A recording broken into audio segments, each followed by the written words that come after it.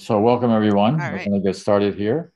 Uh, I'm really, really excited about today. I mean, I'm sure that I've said that in the past at other times, but uh, I'll add another really, really onto it because uh, I have been reading Beth's next uh, book, Awakening Humanity, and this is a leap uh, into another dimension.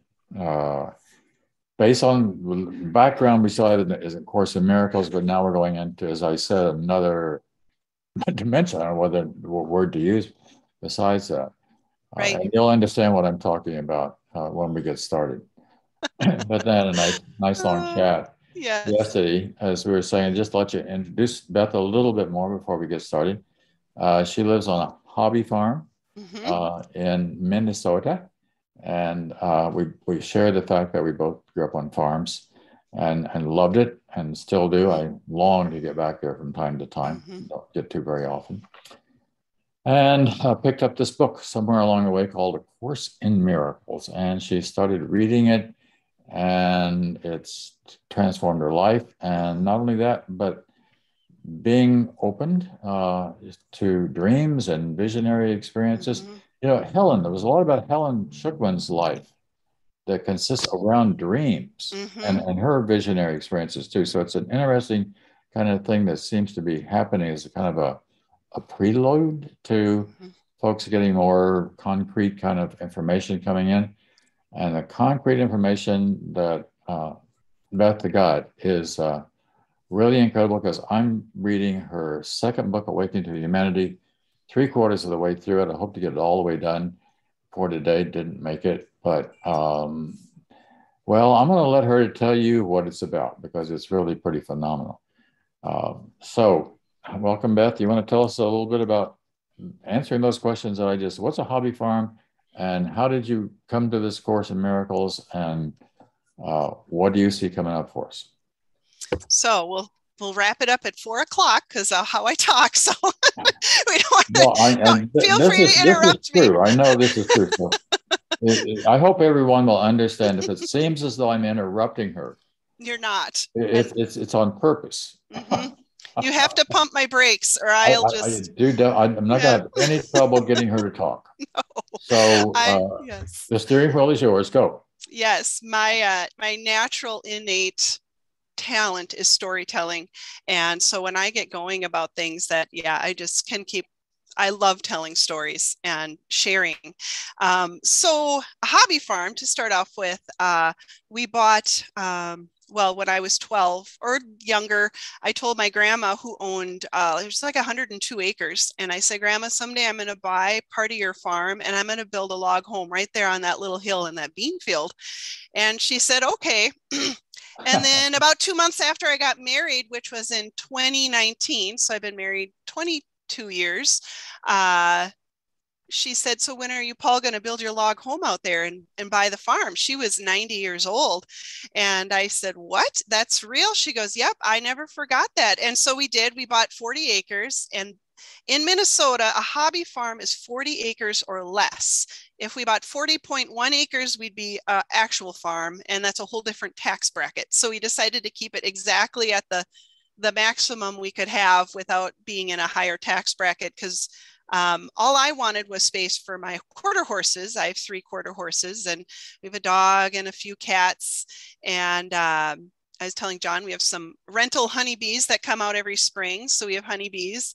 And that's all I really want. I don't want to do any actual hard work because I grew up doing I only wanted the good things about farming, which was enjoying the animals and the nature and the, the woods.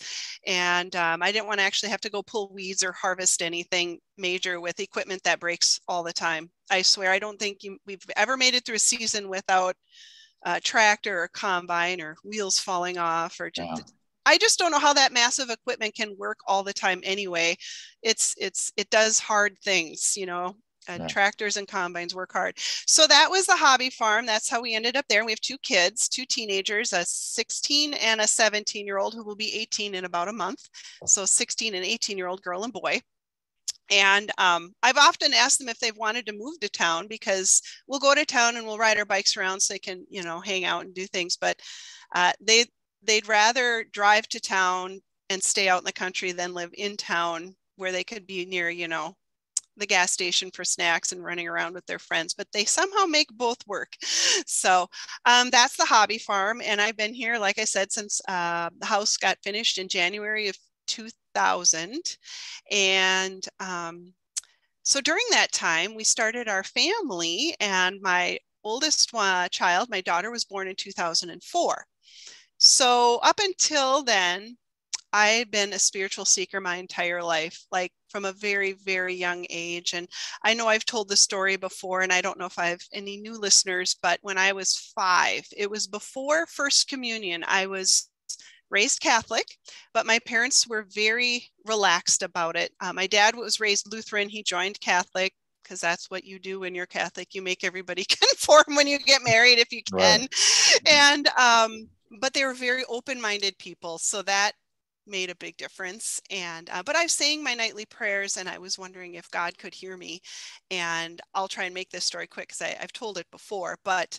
I thought maybe he can't, and maybe God can't even see me. So I thought I'm going to try something different. Instead of laying in my bed and just saying him in my mind, mm-hmm. I'll kneel in front of my window and say I'm out the window and try and look up and be visible and heard. And there was a cactus in a pot on my windowsill, and oh my god! And so I just sat there, and it was between my elbows when I was saying my prayers because it wasn't very big, and it was in the middle of the windowsill. And I knelt, and that thing sat there.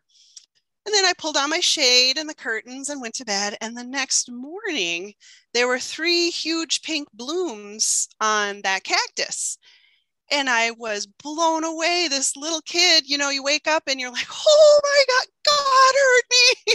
I ran downstairs. I remember my brothers were at the table, and I have one older brother who's three years older than me, and two little ones who are, we're all about two or three years spaced apart. And the older brother, of course, being the older brother, is like, well, you know, cacti bloom like that quickly when they've been watered. You probably watered it. And I, I didn't know if I had or not. I don't remember. But I thought, okay, that does happen naturally. However, and this has been always my reasoning with so many miracles in my life it's the timing the timing. Ordinary things can become extraordinary if they're put in the right spot at the right time in your life.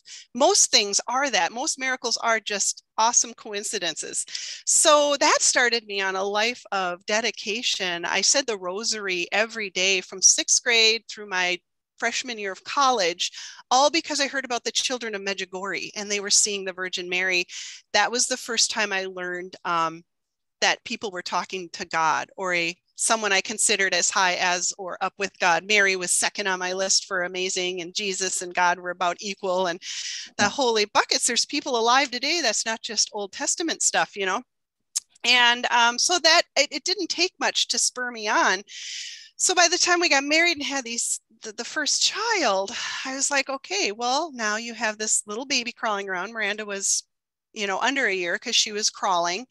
And I remember watching her, and this was one of those poignant mm. moments in life. I'm sitting on the couch watching her go across the floor, and I thought, everything is perfect. Like I have my farm, I got my horses, my good husband, I have a job I love, and our first child is born, and we're not going to be childless. You know, those are big things that you have on your list. If that's what you have on your list, those are on my list.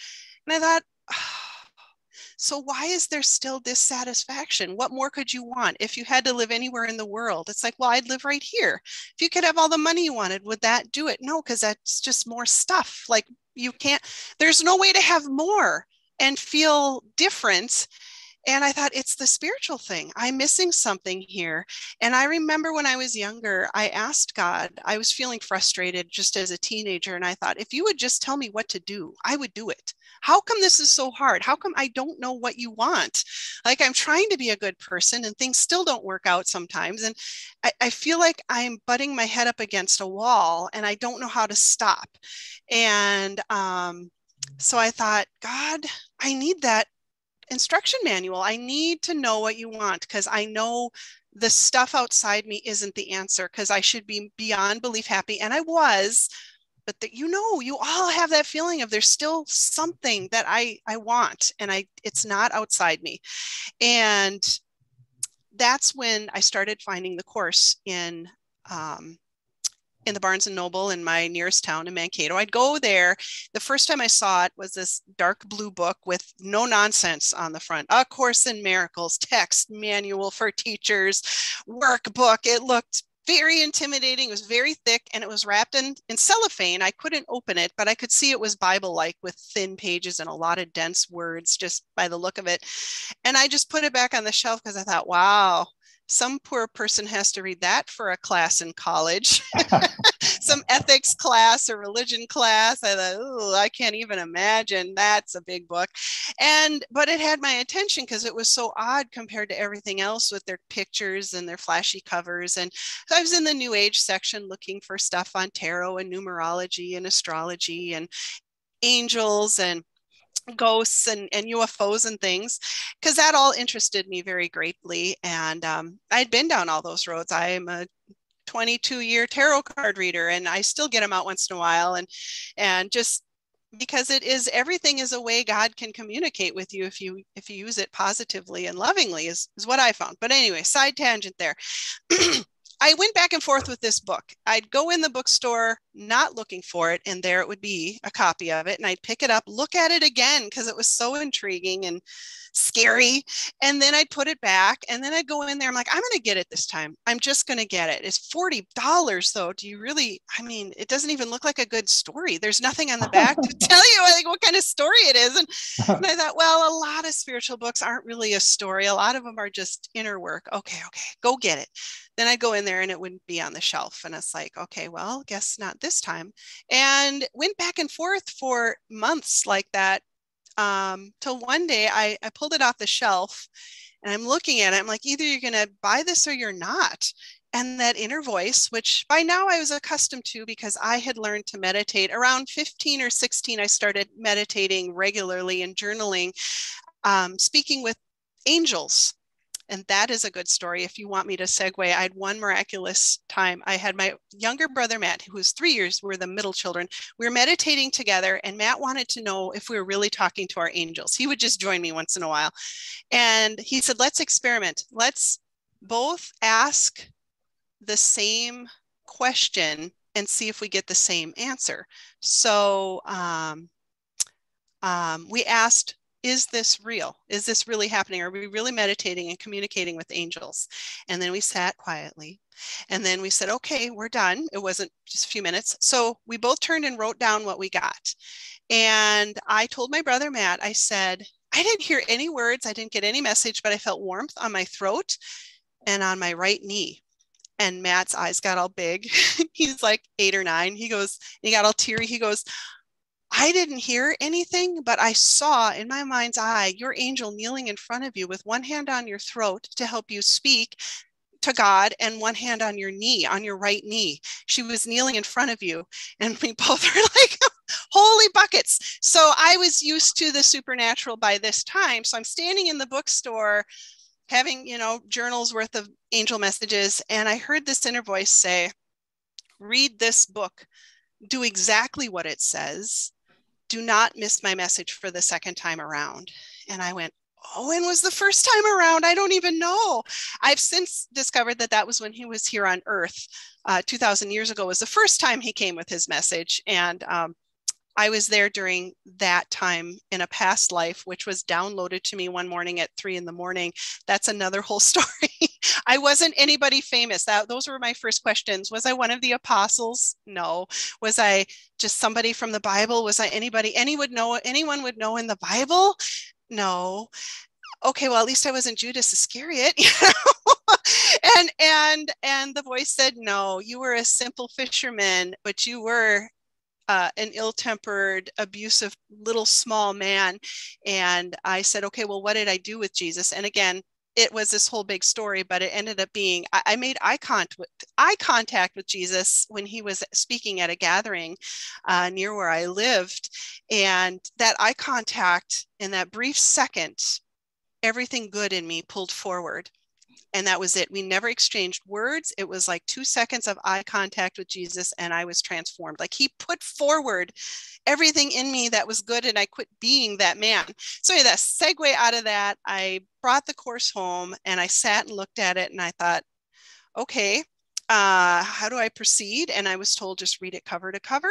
Don't skip any pages. Don't try to look ahead and just read each page one at a time and do exactly what it says.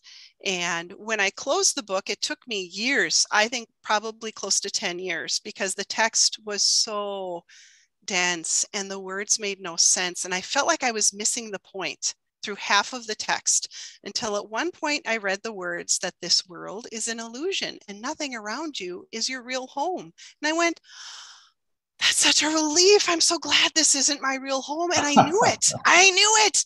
It's all a bunch of BS okay, I think I'm starting, it's breaking through. And I thought a, a book this big has to repeat its message because just from my experience of pharmacy school, giant textbooks, you it has to repeat itself because it it's just different aspects of the same message. You just cannot write a book about one thing and not have it repeat in certain ways in multiple ways.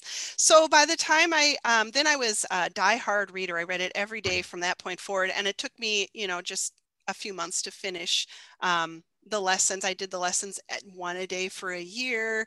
And I thought, okay, I'm not glowing, I'm not floating or, or evaporating or transferring to this new reality. I finished the lessons and nothing extraordinary happened.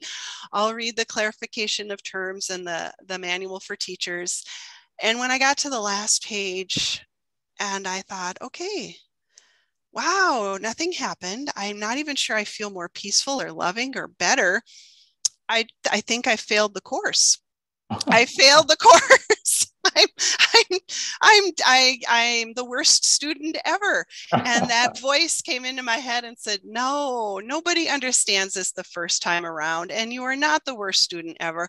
How about we go through everything again, but together? Let's go back to the lessons. We'll start over and I'll explain them to you as we go. And I thought, how come I never thought to ask for help all along like you don't realize how strong your ego is that you don't even ask for help and understanding and it was there all along that began my book awakening to one love those daily conversations and then stuff in between would happen life would happen in between where you have traumatic things happen and just questions about death and um, mostly death. There's three chapters where death comes up because that's such a big one.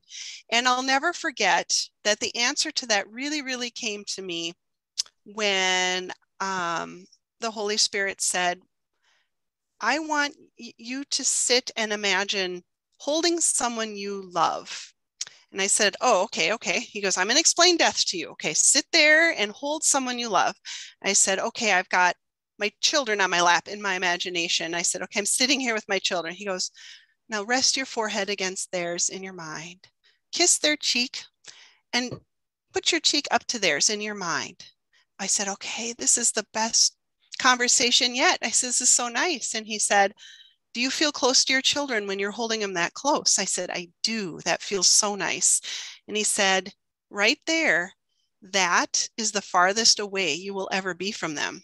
The body is a true barrier. Mm-hmm. When you're out of your body, you can be even closer. And I'm like, I can't even imagine that. And the Holy Spirit's like, I know. That's why it's so hard to describe to you that when someone crosses over they're closer to you than when they were in life but mm. you will you always look for them after that where they're not. You're looking for their body but you got to look for them within your heart and you will feel that love and it drives you to tears and you think you're mourning but you're really not grieving you're loving.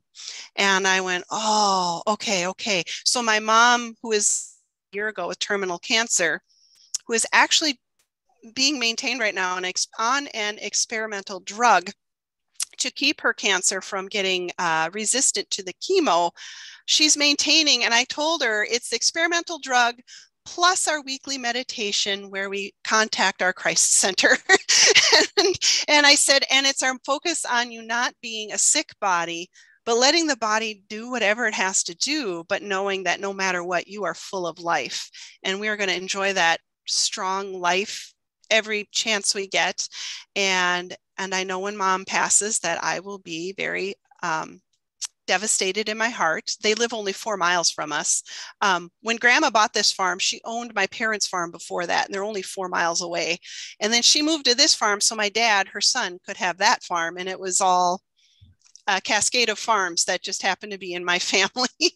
and so I've grown up four miles from my parents. I've either lived on the farm or just four miles away my whole life, excluding the years I was at college. So I see my parents every week and have for the last 15 years. We have coffee once a week. So, anyway, the body is truly a barrier, but we look at it as the end all be all connection with people, but we're looking with the wrong eyes. And when someone passes, we see the empty chair next to us, we see the empty place at the table, but they've moved. That's all they've done is shifted into a more loving space that can be closer to you than ever. And yes, you miss the sound of their voice and the touch of their hand, but it's it's just a different experience a different relationship and both my grandparents um, my grandmas are very close to me and both of them have come to me in dreams and helped me with problems that i'd had and uh, it was so clear the message was so clear and they were so loving um, that i i love the relationship i have with them now even though it's different than when i was with them in in, in the flesh um, so um, let's see. So then that came to awakening to one love. And then I believe the third question is where are we headed now? Which is pretty good. That only took 30 minutes. Oh my God. Yeah, I know. I'm so you. Would you believe how quickly this time goes by? I know. I'm so sorry. It, I, I, it goes I, zoom. Yes. By the way, there's a couple interesting overlaps on it. I had no idea. I had a cactus in my window when I was a kid, mm-hmm. except it fell out. and you know what? You know what happened to that cactus that bloomed? So I brought it to college with me, and at some point I had an apartment and it was on top of the TV stand next to the TV near a window. And I left for class and I came home one day and my dog, I don't know what got into her head, but she pulled it down and ate the roots off of it. oh my God. She ate the roots off of know what Lord. maybe mineral deficient who knows what gets into dogs but she decided right. that day the cactus um, needed to her. be eaten yeah it was going to be okay. her her thing so anyway that so interesting so yeah you had uh, yes. one other little thing was that are you and i used to go see helen schucman for counseling mm-hmm. and helen would do this interesting thing when she wanted to make a point with me and that is that she would reach over and tap my knee right? And I thought, why? That's a very interesting gesture. To, to kind of aggressive, know. well, physical, it, was, you know? it was actually very kind. It was like, but it was like, get this point, you know, mm. do this thing, mm-hmm. you know, take me seriously here now in terms of what I'm saying, right? Mm-hmm. Anyway, you know, go ahead. when you talk about that, um, uh-huh. I've heard of people who have tried to get me to sign up for this thing called, is it EFT tapping, where you tap oh, and yeah, yeah, yeah. or I tap. I I told them I, I don't need that, but I do know what purpose it serves. When you tap your body, you're focusing on the present moment. Like get your attention here yeah, right now. Exactly. Pulls you out of the past and the future.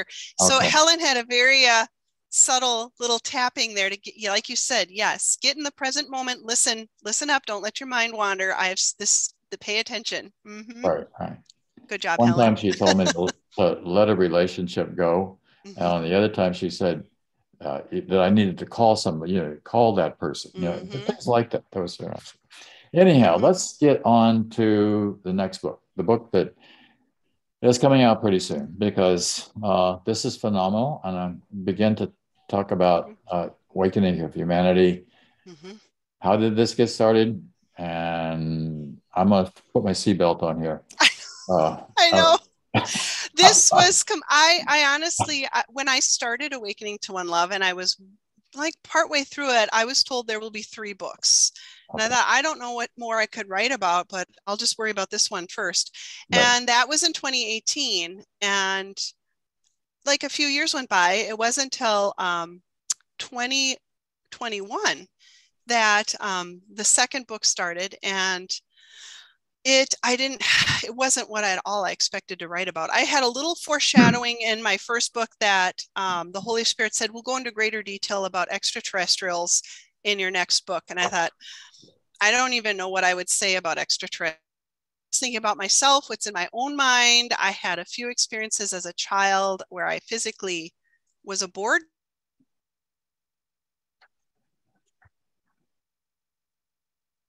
And feel you know physically which in the dream can be very real but this was like i, I could smell smells um, and also physically seeing craft in the sky uh, with a boyfriend coming home from a date one night and saw three craft one of them was above a little hill that my house oh.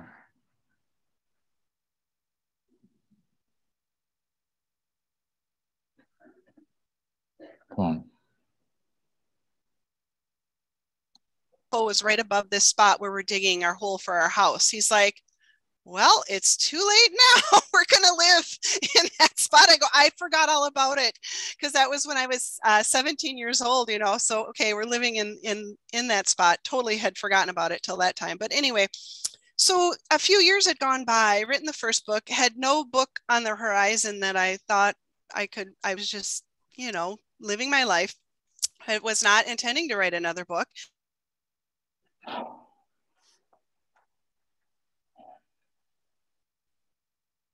Elizabeth's internet connection is intermittent. I realize that. Um, guess there's not much we can do about it. And she wasn't just the gray alien, she was an amphibious being. She had skin like an octopus, like it was kind of blotted, like she could. Beth, um, Beth, yeah. Can you say that again? We lost your internet connection. Oh, okay. You so, were introducing Martha, right? Yep. Martha entered a dream of mine and she was an amphibious being. She wasn't a great, I, I think it's because I said gray alien. There is a negative vibe with some of those populations. it's probably why it cut out. Um, so Martha was in this dream and she was trying to cover herself up to hide. She says, I'm being chased. I need to get away. And she said, I'm also very thirsty. And I could tell by her webbed long, and she had like.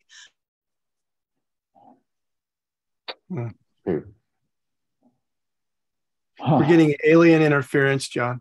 Uh, yeah, right. it seems like it. I, but she radiated love and she was good. I could feel her goodness and gentleness.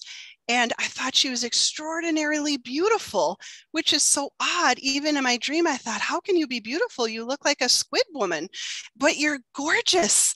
And I said, okay, I'll help you. And I said, what, I'll get you a whole five gallon pail of water at the well. And she said, nope, I just need like a cup of water. Just run into the kitchen and get a cup of water, but hurry. And I went through the whole motions in my dream, got a glass of water, brought it down to her. And as she was drinking it, she made eye contact with me above the glass. And I suddenly woke. I was awake and I'm like, oh my gosh, I'm in my bed. I feel my bed. I feel my pillow and my blankets. I, I, I can feel my husband next to me. And I thought, but the dream isn't dissipating. I'm still in the dream. Like I can, I can feel these things, but I can still see this being. And I thought, oh, okay, so I'm in a lucid dream. And this is very bizarre to be like bilocated. And I looked at Martha and I said, um, we're not dreaming, are we? This is a different reality or dimension? She said, Yes. And I go, You're not being hunted by anybody. You're not in any actual trouble either, are you? And she said, No, I'm not. I said, Why did you have me go get you water? and she said, When you help someone, you lose all fear of them when you're called to service, when you need to pull someone from a burning building or a, a trapped under a car, a stranger, you suddenly have a bond with that person and you love them. In those moments, you're acting out of love, and love triumphs over every fear. So if you helping is the ultimate way to overcome fear. And she said, if you hadn't helped me and I appeared to you, you would have been scared because of how I look. And I went, okay, okay, because I do feel a bond because I helped you. Even though it was fake, you didn't really need water. That little scenario helped me feel like there's camaraderie there. Um, and I said, um, what is your name? And she said, our language is like your whales when they speak. There's nothing that translates but she said go by how you feel when you when you're with me. How do i feel to you? Assign me a human name that resonates with you and how i feel to you. And i immediately thought of martha in the bible and how she cooked for jesus and he, she was close to him. And that feeling i got of martha in the bible resonated with this being of kindness and, and love. And I said, Martha, you feel like a Martha to me, just soft and warm and strong, but also gentle. And she goes, That's perfect. And the rest of that conversation in that lucid dream, she let me look at her whole body. She put her fins up. She had a fin along the rest of her head and down her back. She stood that up for me. I wanted to see that. She had some along her, a big one on her forearm that came up like this. She let me see that. And I looked at her hands they were long, thin. She was taller than me. She was about six feet, six foot one. I'm five eight, and she was like almost a half a head taller than me. Very thin and aerodynamic, like a fish. Like her chest was concave. It came to kind of a point. There was like a little. It was shaped this way, and her nose was a. It, there was no nostrils. She had just a little pointed bump, and no ears, but I could see that she said the membrane is thinner here for me to hear, but there's no actual ears. And she had three gills on each side of her neck. And um, when I was done looking at her, she disappeared and I woke up. And I went, wow, that was a weird dream. That was so cool. I wrote it all down. And contacted Glenn in here because I had to share with him my childhood experiences with being aboard craft, which, um, you know, it's it's 20 to noon right now on my time, so it's 20 to 1 at yours. I don't want to take up with all of my extraterrestrial experience.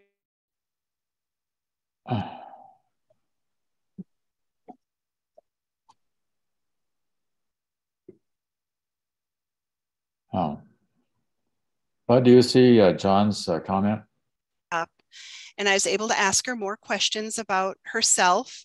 And um, we had she and again just disappeared. And then the next time she came i was driving and i went okay we're progressing. I'm more and more awake each time. I'm most asleep when i'm asleep and most um, able to receive without barriers. Then the next stage is when you're just waking up or just falling asleep you're also very receptive because your barriers are down and also, there's two other places I'm very receptive where I'm meditative without meditating, and that's my long hour drive to work or when you're in the shower. So she's able to get through to me when I was driving to work. And and I said, Martha, why do you just disappear when we're done talking? And she said, Well, it's a telepathic conversation. I'm not I don't even want to call it channeling because it's like talking to any other human being, but I just can't see her. I can hear her in my mind, but I can't hear her audibly or with my eyes.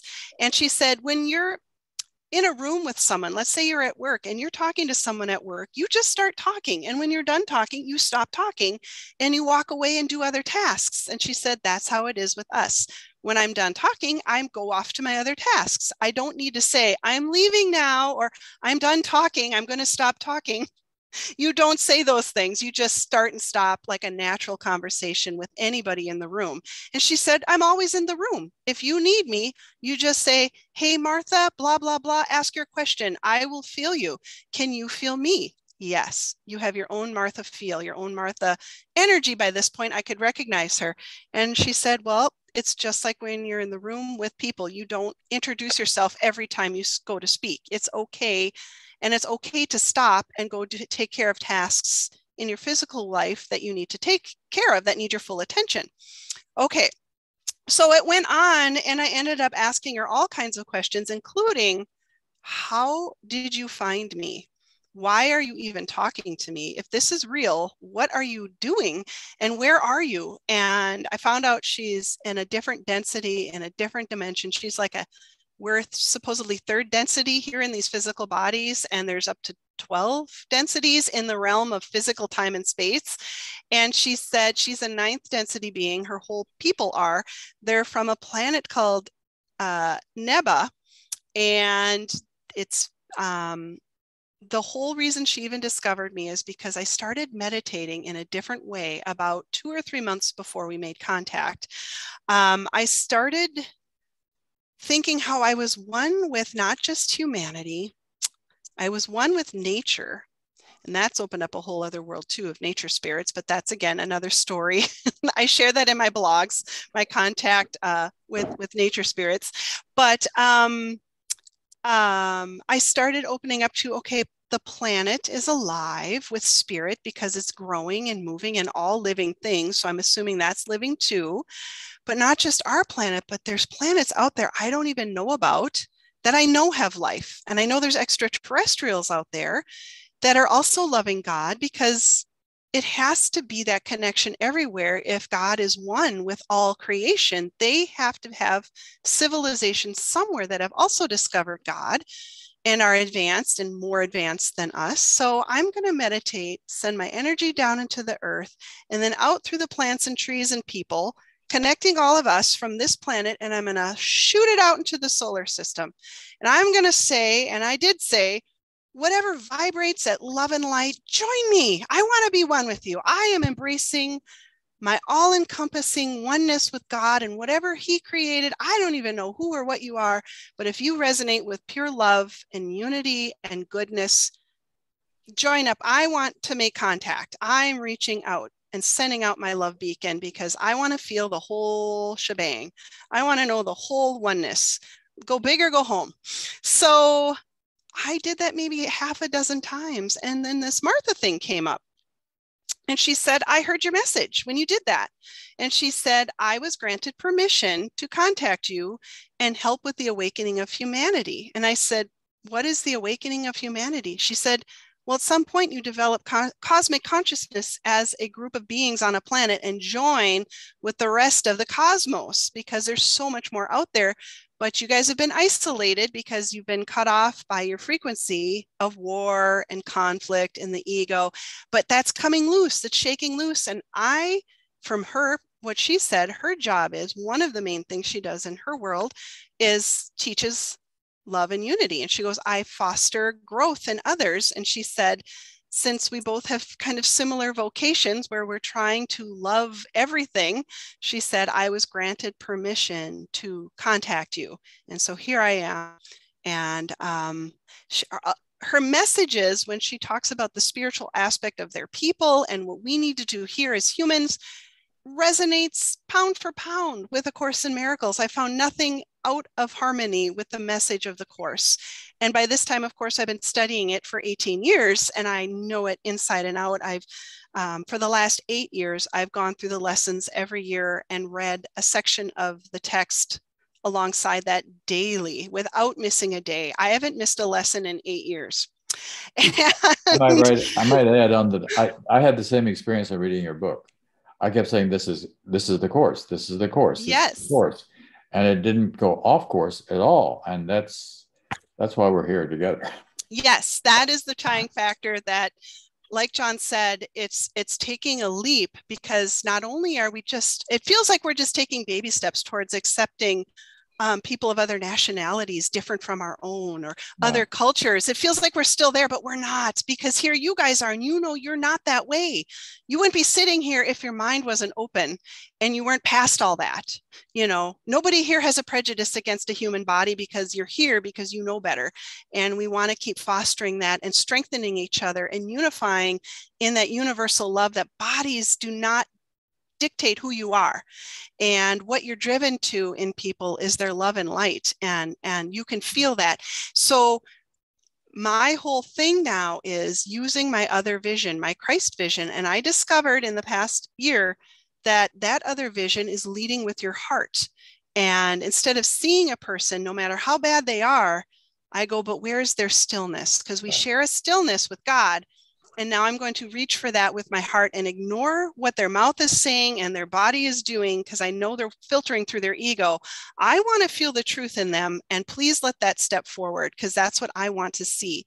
And that has healed so many relationships whether the person moved away that was giving me trouble or they shifted um, it, has been miraculous all around. There's always a shift that comes when you shift how you see them and you ask to see only that still quiet part of them that's in communion with God and has never left God.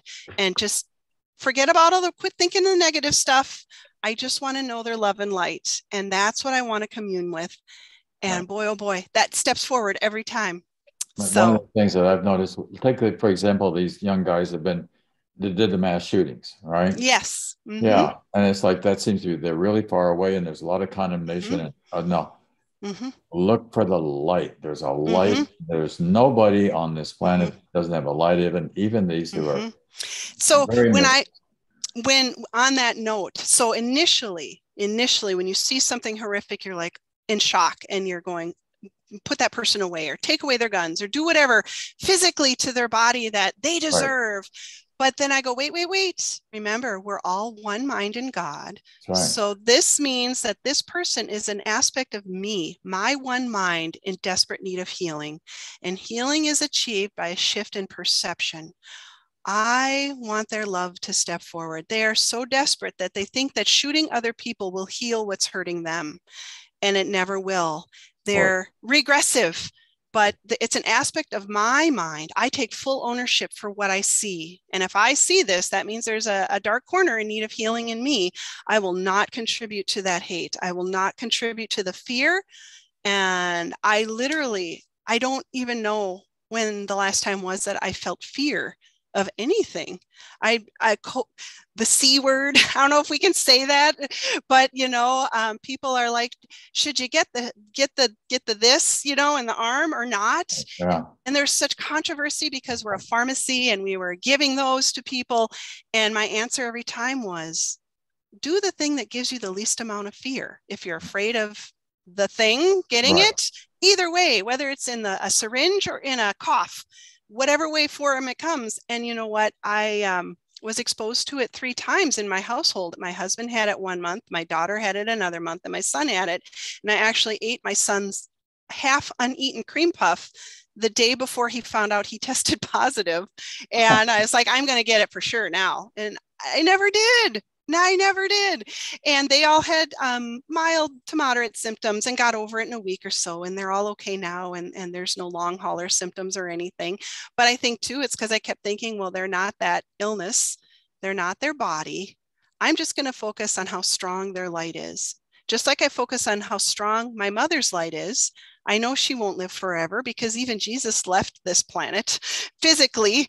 Uh, his body got left and he became, you know, his magnificent self and and so it's just part of our process. But i want just mm-hmm. that to be the best outcome possible given the circumstances. And that's always my prayer for everything. Let the best possible outcome come out of this um, and i will not stand in the way of whatever that is with by wishing for something to be different. I mm. once heard these words in my head that f- true forgiveness is to stop wishing the past was different. Right. When you stop wishing things were different, you've forgiven it because you're at peace with it. So, That's of course, too. Mm-hmm. Yeah. Yes. We're only like five minutes away from our first break. Would you believe that first break, the only break we're going to have?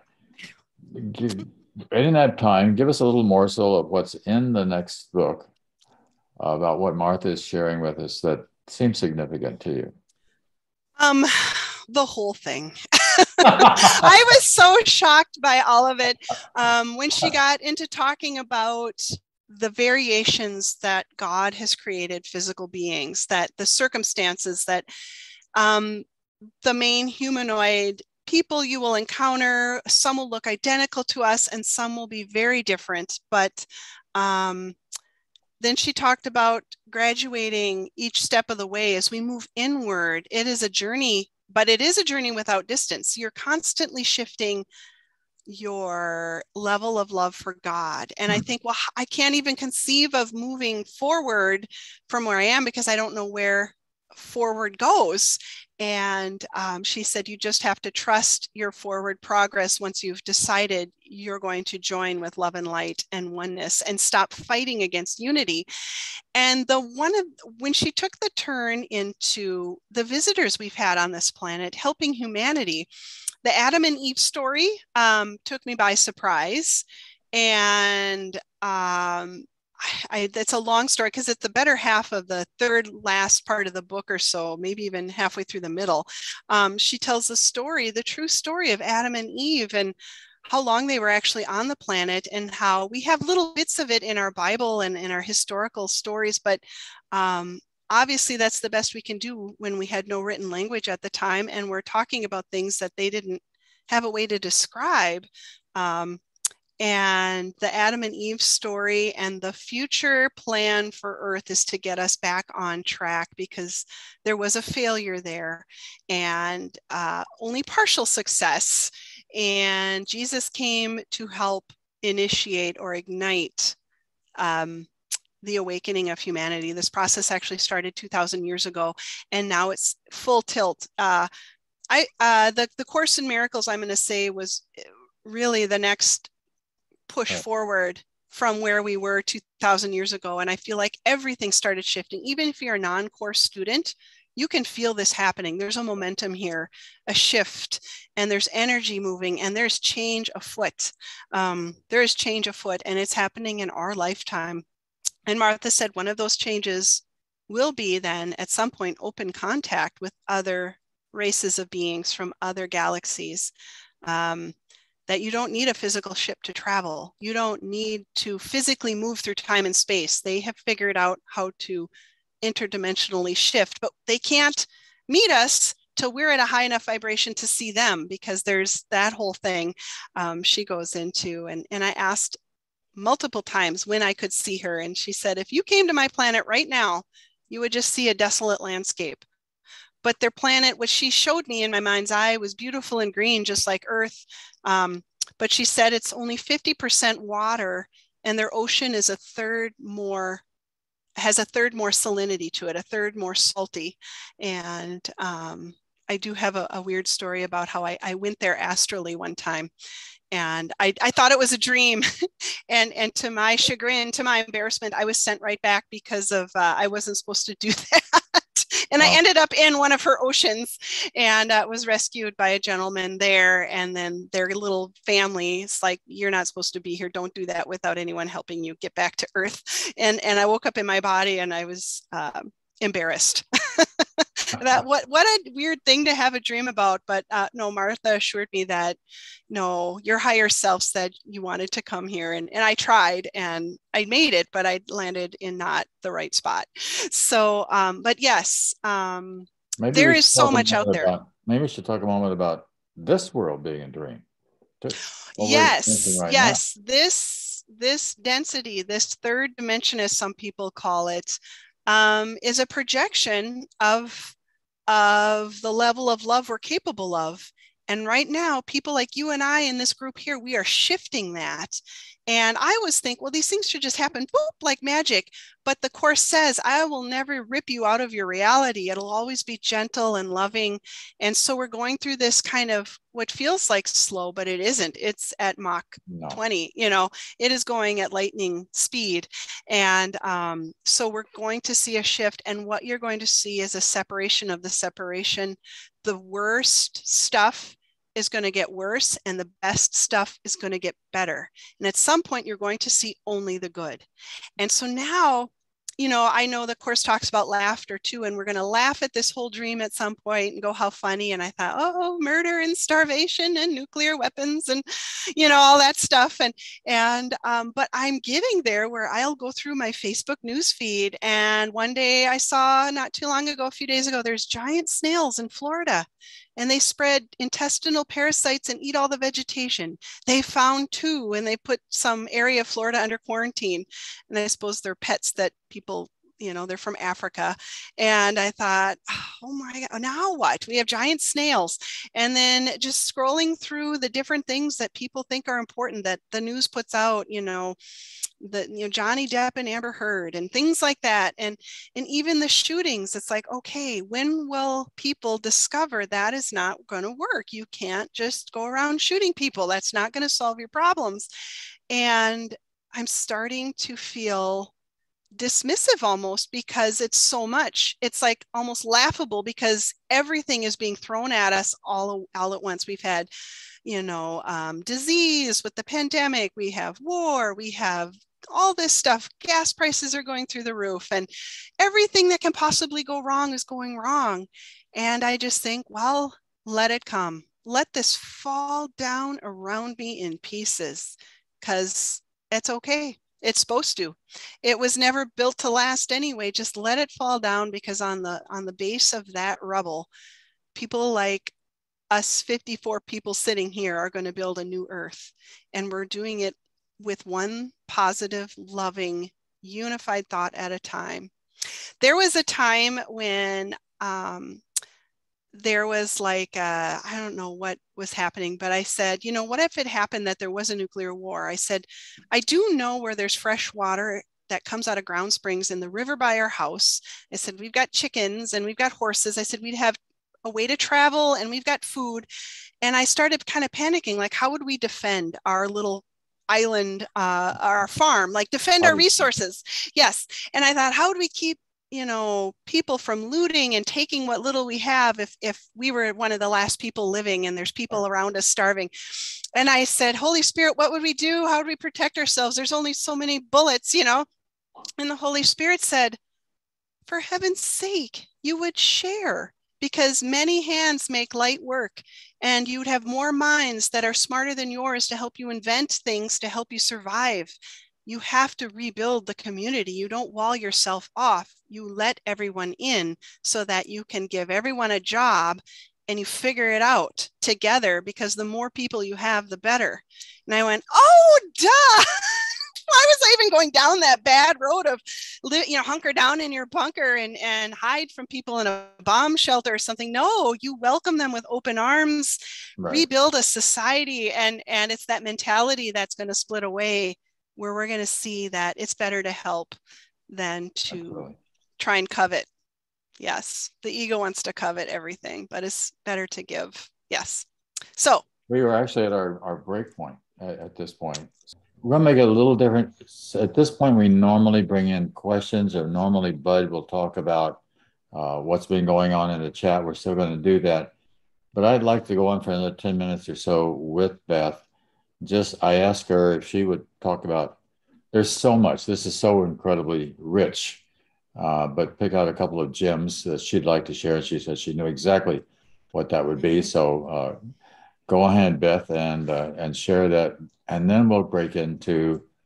Uh, Bud will tell us about what's going on. Then we'll have questions after that. So go ahead. Thank you, Jon. Thank you. Yes. Um, one of my favorite things was initially before um, Martha came into my life, one of the strange experiences I had that prepared me for it. And she later brought up why this happened. Um, we were on a hiking trip, just my husband and two kids, and then we were there with another friend of his and his son. And we were hiking up the Superior Hiking Trail in Minnesota, which is backcountry hiking you hike in with what you have and that's all you get. You don't there's no campsite except an area where you can put your tent that you brought with you and you're way off grid. And we're going to spend two nights up there uh, along the superior hiking trail. And on the hike in it was a four mile hike in to get to our first spot we were going to camp for the night. And three times on that hike in I had what I can only call a love burst in my heart. And hmm. I, I wasn't thinking anything. I wasn't doing anything. I'm just walking with my backpack. And all of a sudden, my heart just filled with this profound love. And it was like an orgasm in my chest. like, if you can imagine uh, that orgasm physical you know sexual orgasm but in your heart where it just exploded with love and it would last for several minutes and that happened three times and I thought, Am I having a heart attack?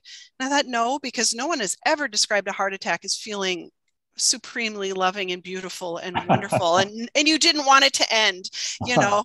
No one and I, I know those are painful and i can't think of one thing anyone has ever described that would match this that was something bad or wrong.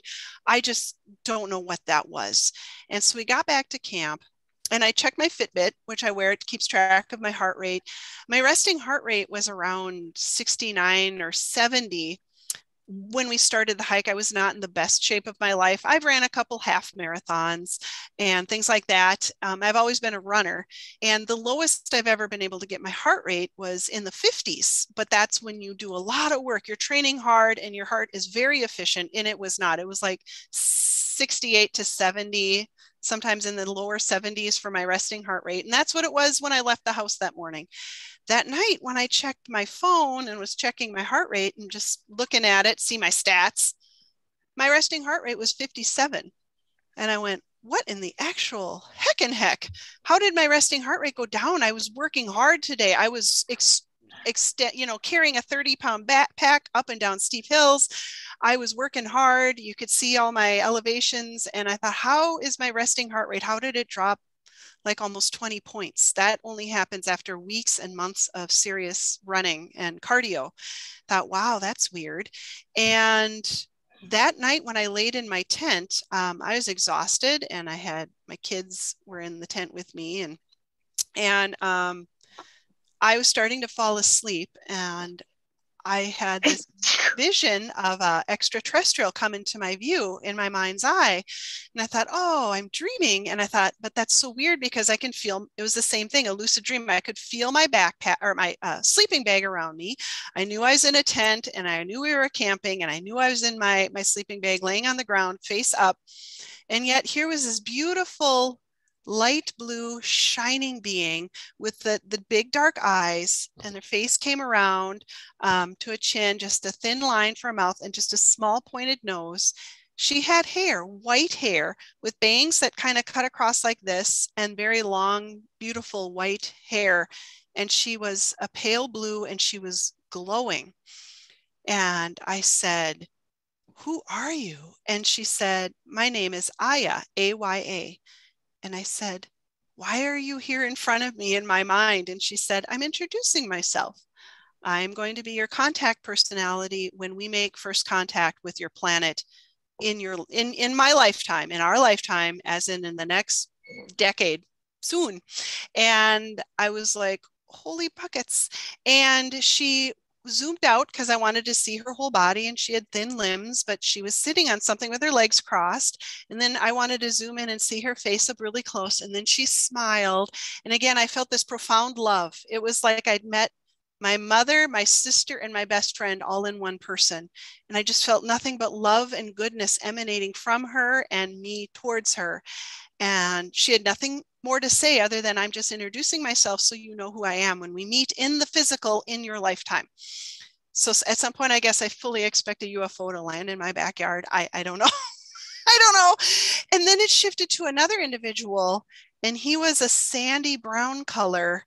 And he had been in one of my, my dreams when I had had a UFO experience as a child. And here he was again, the same individual, hadn't seen him since I was a little kid he's the one that I could smell. He smelled like sandalwood incense and cinnamon with kind of a hint of matches. I don't know how to describe it, but that's the closest that's I can good. get. I can I like I can I could smell like what was matches, but it was sweet, like sandalwood, but there was like a cinnamon undertone and it like matched the color of his skin in my mind when I thought of sandalwood and cinnamon. Like he looks like how he smells.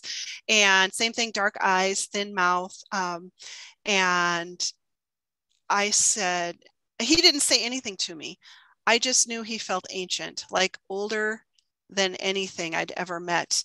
And I heard Aya say, This is my mentor. He's who taught me all I know about spirituality. And I just, we're just introducing ourselves. And it all winked out.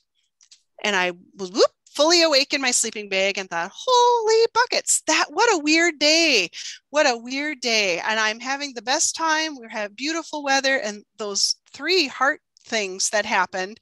Well, later than when I was talking to Martha, I was asking her about relationships in her people. How have they evolved? Like, is there romance? How do you have children?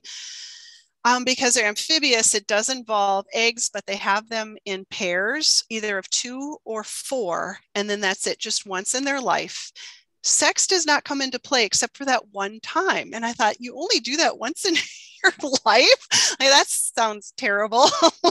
and and and she said no no no no. She said we have a different way of loving each other and this is where the course comes in that it's not about the body. And she said um, when we have birthdays and it actually was my birthday at this time and i'd woken up to thoughts about hey today's my birthday and this was back in 2021 when i was writing just meeting martha. And um, she said, Oh, and she was instantly in my mind. And she's when I woke up and she said, I've got two birthday gifts for you. One is I will tell you how we celebrate birthdays in my world. And also, I will tell you when we will meet in the physical. And I said, How did you know today was my birthday? Are you just scanning my mind? Are you invading my privacy? And she said, No, you woke up and said, today's my birthday and I heard you and you could feel me. You knew I was there. So when you thought those things, I was there.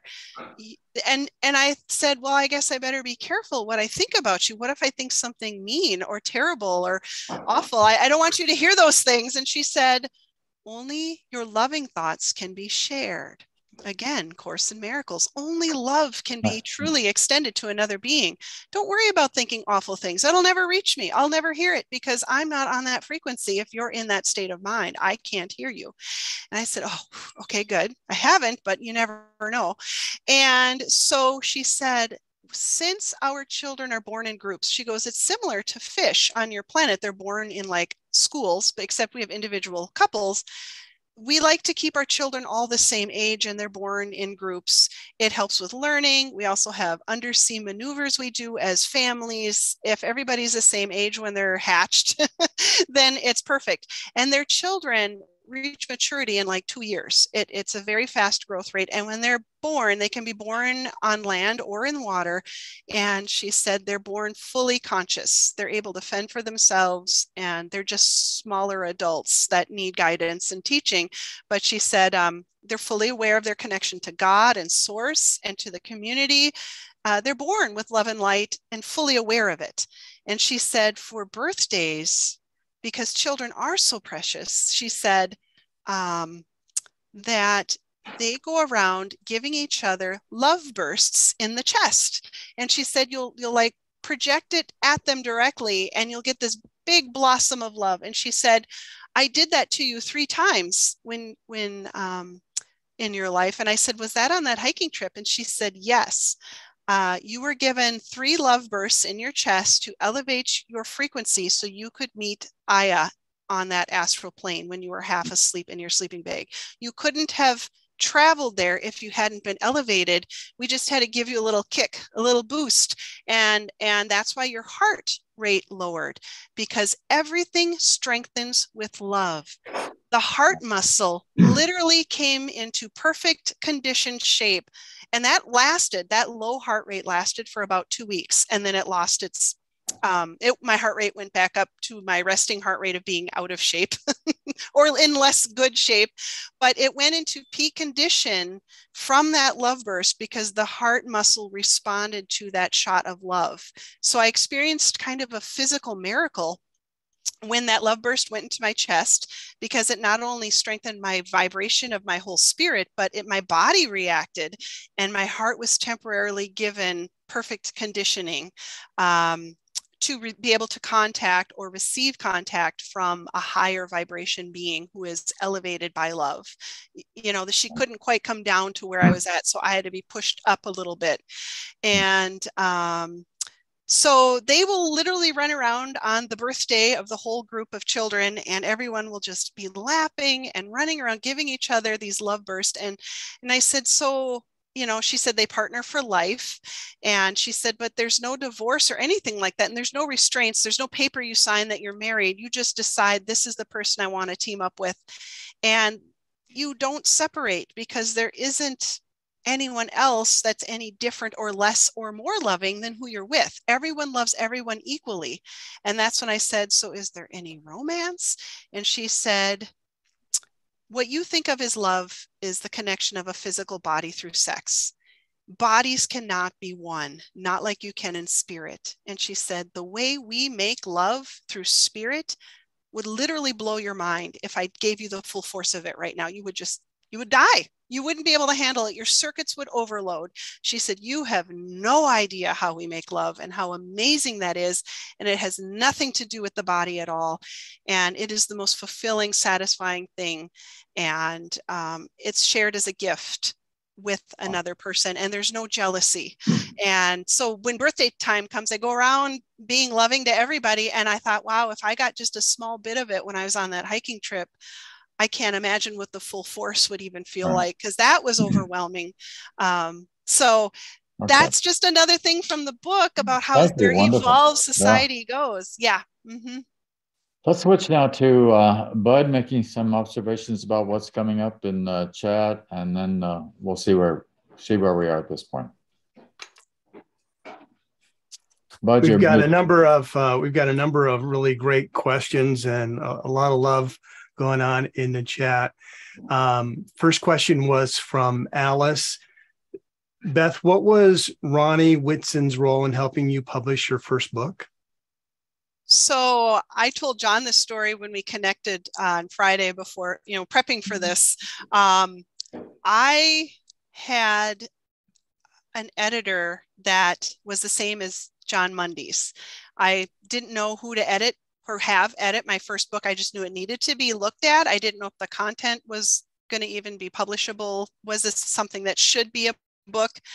And I read on the internet to go look through other books that are like yours and see if the author thanked their editor and then go find that person when you get their name.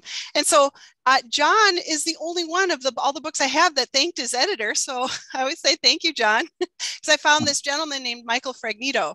He edited my book and then we got it to the point where it was publishable and he thought it was great. I rewrote it with the conversations instead of me preaching. It was me learning and displaying how i went through the whole process of coming to all these wonderful epiphanies and conclusions that have transformed my life. And he said okay now you need an agent because uh, like hay house won't even look at a, a manuscript without an agent representing they don't just take manuscripts they you need an agent to have a foot in the door. He sent me a list of names and i barely looked at it. I got the emails like 20 different people and i just glanced at it and closed it and thought i don't even know how i'm going to pick who I, I, don't even know where to start but okay. But i have names that's good. Uh, went to bed that night and I had a dream. Here again, it's like you said with uh, Helen, it was a lot of dreams. A lot of things come through when you're sleeping, and not everything is prophetic because there, there's some dreams you know they're just a bunch of nonsense. But I, I, in this dream, I was riding my riding lawnmower in the backyard mowing, and I remember feeling very satisfied. I was going really well, and a man in in a black suit, a three piece suit with sunglasses, the whole nine yards, looked like Men in Black from that Will Smith movie looked just like that. Walked up to my lawnmower, did this, cut the engine. So I turned off my lawnmower. This is a dream. And he said, The person you need to be your agent is Ivan. And I said, Okay. And he walked away. And so I turned on the lawnmower and I woke up and I thought, that was weird. I'm going to see if there's an Ivan on that list of names of agents. There was no Ivan, but there was an Ivor, I V O R. His wife is Ronnie Whitson, who was the person who annotated A Course in Miracles. I reached out to her, said, I have this course book, and then it was history ever since. But literally, I was approached in my dream and told off that list of like 10 or 20 people, this is, you need this person. And um, that forged the relationship. And Ronnie became my editor and, and uh, correspondent for all my writing. And by the way, Ronnie may be on. I'm not sure. I sent her the link this morning and she said she was going to try to come on for a while. Ronnie, awesome. if you're here, you could say hi. Yeah. I didn't see her name, but she was going to make yeah. it happen. Okay. So yeah, that's that story. That's how I even came to have Ronnie and, and Ivor as my my agent and my publisher and my editor and all around uh, great people. Yeah, they and are. help help me with everything. None of this would be happening without them. So I talked to Ronnie this morning, by the way, and she's really very, very excited about your book. Feels good really good about it. And I, I, feel really good about it. Glenn, I think, is on with us. I know Glenn feels good about it. So uh, we've got a lot of good feeling here. That's amazing. good, good. That's Wonderful to hear. Thank you.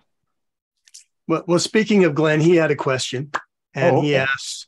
Uh, early in your new book, Martha describes the human situation now as being in a delicate transition.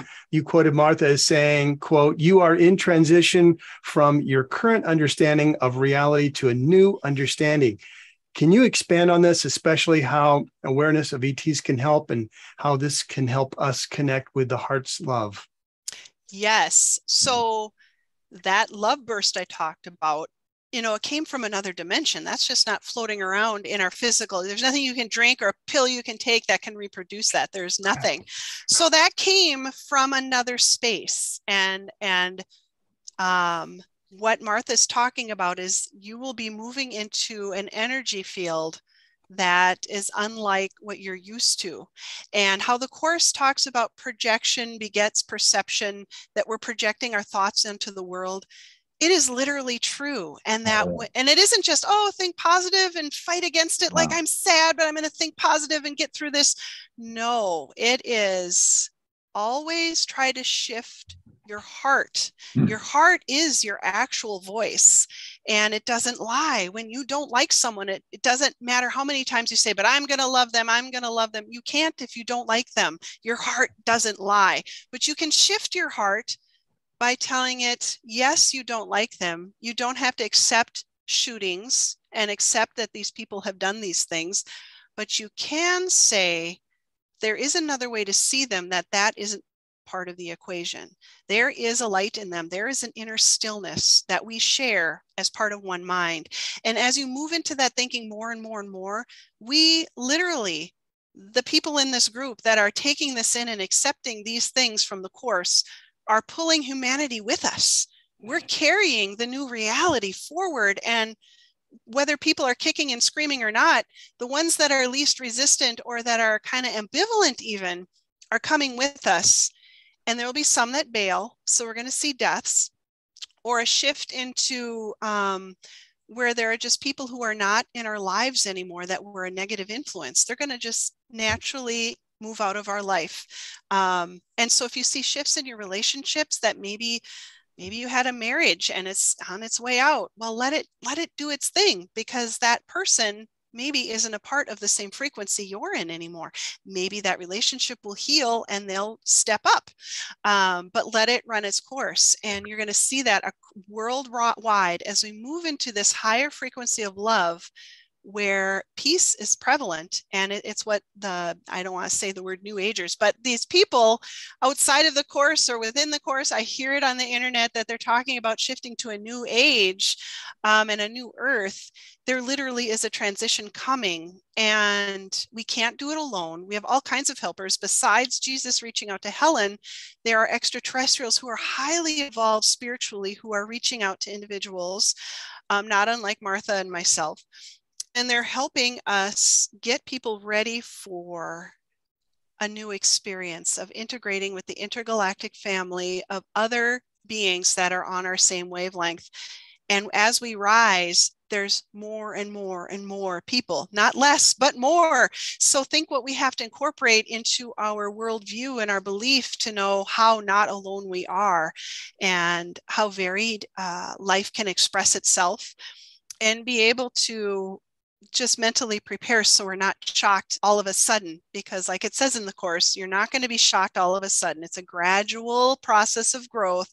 It would be cruel to just throw you into the lights without any warning like someone no. living in a cave all their life and then you know you'd be blinded. You it's shocking and terrifying.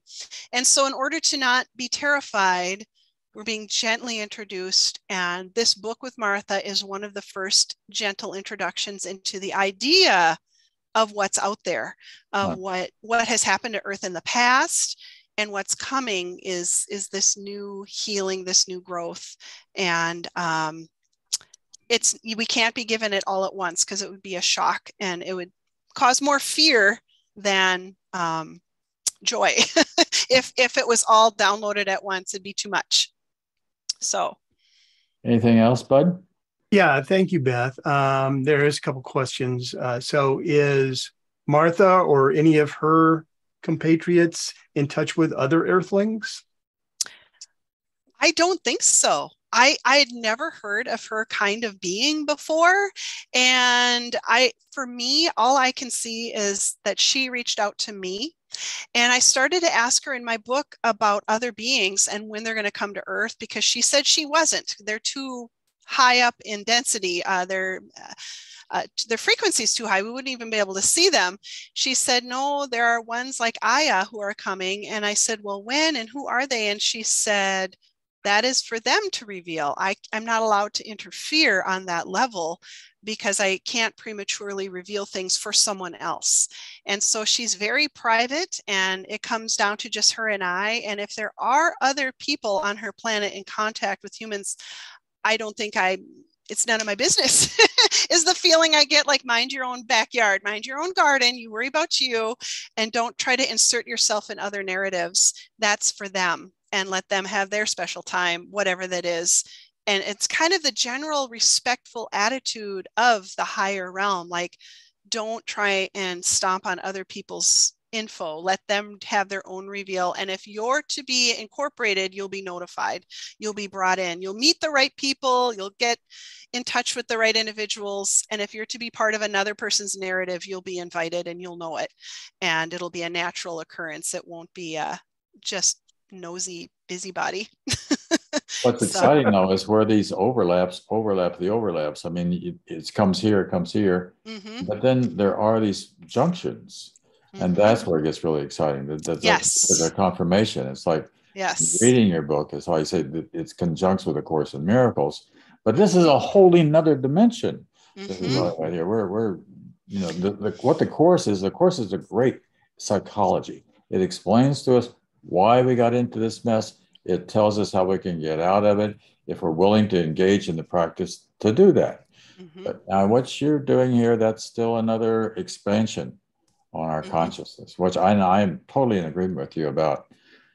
Something is really happening. It's very clear. And even the kind of rotten stuff that seems to be mm-hmm. going around with politics or something, mm-hmm. uh, that's even a part of the, the modern, what the dark side. I don't know. It, it almost feels like there's this desperate last ditch effort on the part of the darkness or the regressives. Anyone out there who's regressive and is controlling things for everyone else, I feel like it's all a, the war is a last ditch effort of desperation. The, the, the pandemic was a last ditch effort, just one last ditch effort to make us all so scared and to stop the light that's coming, but there's no stopping it. And it's going to it's we're gonna have a it's gonna rampage through no matter what and transform. Um, and so anything you see now, to me, it has a last ditch effort of desperation to it right. to try and make humanity uh, scared and cow down and not look within and to keep focusing on without and all these big problems and i'm just not buying it i'm not i mean my heart goes out i'll donate money i'll help in any way i can but i'm not going to emotionally feed it or buy right. into that narrative mm-hmm. well, you know so much of what happens in life anyhow they, there is a, some sort of when helen didn't start getting the course until after bill confronted her with there's mm-hmm. got to be another way you know we got to mm-hmm. get along here and mm-hmm. then there's mm-hmm. this sudden shift of you're right i'll help you find it mm-hmm. and and there and, and it starts happening. So mm-hmm. just a part of for this class that I'm teaching beginning on Tuesday, we're using uh, John Bunyan's Pilgrim's Progress. Well, Christians got to go through the slough of despond before he begins to, you know, it's like get some of this burden off of his back, mm-hmm. just so that he begins to lighten up. mm-hmm. That's normal for all of us. Yep. But anything else, and then we go to a couple of questions here. Yeah, they're really just a couple of, of, of minor, excuse me, minor questions. Um, uh, are you experiencing any ascension symptoms? Hmm. Well, you know, I've always wondered what those were. and I'm going to say, I'm going to say, I feel more awake than I ever have because wow. I feel like my eyes are so open to the truth and that I have become so quick to respond with truth um, in any given situation. And I keep getting these little trials and tests every now and then. Um, something will come up with a angry customer at work or something and I'm getting faster and faster at letting, uh, stepping aside and letting the Holy Spirit see for me instead of reacting reactively out of the ego. And um, I Elizabeth, don't. I think that's true for anybody who's doing yes, the miracle. Yes, if you're yes, doing the it's course a process. And you're taking the course seriously, you're going to have this feeling that things are improve in your own yes. mind. Yes, you're seeing better. You know, yes. less of this stuff that's dragging you yes. down and therefore the connectivity is just automatic you're just mm-hmm. you're there for people there's nothing mm-hmm. wrong what a great day i'm mm-hmm. really glad i'm doing the things i'm doing and there that is a strong natural. natural. and joy has become natural i wake yeah. in the morning with a happy expectancy of i don't know what's going to happen today but i know i'm going to love it and that's kind of my general attitude i don't know what's happening today I know I'm going to love it. And and it just let it unfold and the smallest things in life have become so delicious. Yeah. Um, the feel of a soft blanket when I'm watching TV with my oh, husband, yeah. or walking along just down the driveway, I'm noticing things I never noticed, like how fresh the air is, or how soft the breeze feels, or how beautiful nature is. I never noticed the details. Oh, so there, so much is stepping forward that's beautiful and delicious, and it. it so um, whatever those uh, symptoms of ascension are, I know that I'm moving in a very positive direction. All pain and discomfort that I had in my body with whatever little things has all fallen away. And in the middle of the night, I used to have something I'd call my middle of the night. Um, despair. I'd wake up at two, three in the morning to go to the bathroom sometimes, and I would just feel hopeless. It would be a weird kind of hopelessness, and you could call it anxiety or depression, but it was literally a feeling of like everything's gone wrong. And I didn't know why I had that. Physiologically, I knew because as a pharmacist and having had um, classes on the human body and, and physiology and things that go wrong, I know that in the middle of the night when you're sleeping, sleep is so important because you're producing you're replenishing your serotonin levels in your mind a lot of depression is just stems from lack of sleep because when you sleep your serotonin replenishes and you wake up refreshed but in the middle of the night, if it's not doing that, you're going to feel despair instead. Huh. So I knew the physiologic because that's they go to their lowest in the middle of the night because they're zapped to their lowest and then they replenish. So I knew physiologically, but why was that even happening? That phenomenon has gone away. I wake up in the middle of the night now to use the bathroom once in a while. I it's gone. I don't know where it went or how it went away, but it, it's just gone. That doesn't happen anymore. Um, what's the purpose of the whole course? You know, on the very very first page of the Course of Miracles, what does it say? The purpose is to remove the blocks to the awareness of love's presence. Yes. So as these blocks yes. do begin to fall away, and it's mm-hmm. just inevitable that when they do, you begin to feel lighter Yes. You know, you're yes. not doing what what what burden, you know, what Yeah, what, there's what nothing wrong. Nothing's yeah. happening to what, me right now. difficulty. Yeah. We're sitting here together having a nice talk with a group of people and that nothing else is yeah. happening negative. and you get to share that. That's the thing about the group. You get to share it with the world. Or mm-hmm. anybody you meet, anybody. Mm-hmm. It doesn't the pharmacist at the drugstore. mm-hmm. Exactly.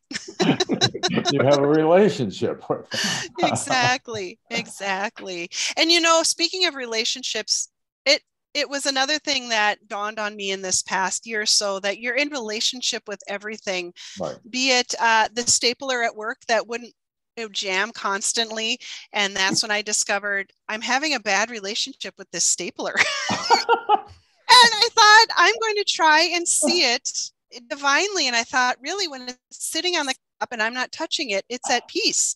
It's so peaceful. Stapler, you are so, I feel your stillness. You have the stillness of God. And I and I just started to feel this like oh, love God. go out and the stapler hasn't jammed since. I don't know. Maybe I'm handling it more gently. But it works with if you're worried about your money you have a bad relationship with your money. Let your money be at peace. Don't worry about what your money is doing. Just be at peace, but let it rest. Let it be there still.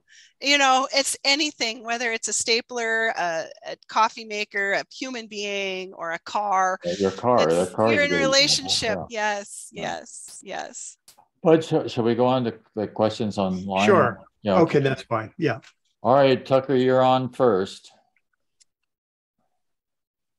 Of course, now the challenge, Tucker, will be to actually create no, a question. No, no, I, I, I uh, yes.